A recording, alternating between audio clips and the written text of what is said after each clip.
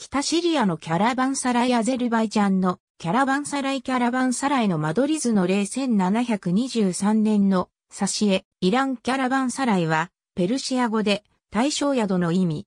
対象のための取引や宿泊施設を指す。バザールやスークに隣接して建てられた。アラビア語では、ハーン、カイサリーやフンドゥクとも呼ばれた。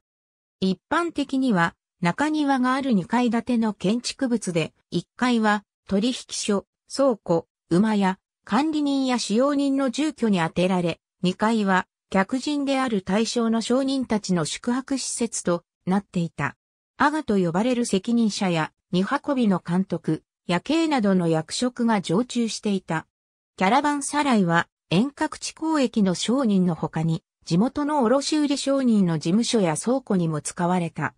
イスファハンでは前者をタージェル、後者をボナクダールと呼んで区別した。